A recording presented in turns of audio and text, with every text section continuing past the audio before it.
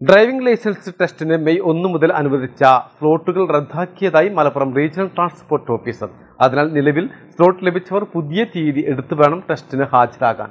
പുതിയ പരിഷ്കാരം നടപ്പിലാക്കുന്നതിനാൽ മെയ് ഒന്ന് മുതൽ ഡ്രൈവിംഗ് ടെസ്റ്റുകളുടെ എണ്ണം പരിമിതപ്പെടുത്തിയതിന്റെ ഭാഗമാണിതെന്നും അധികൃതർ വ്യക്തമാക്കുന്നു.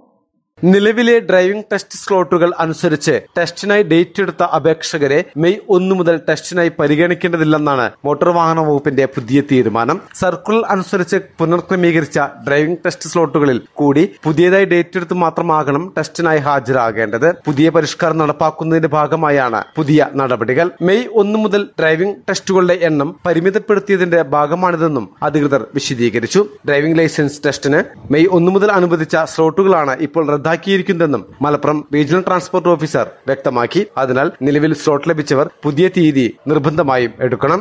മലബാർ ടൈംസ് മലപ്പുറം.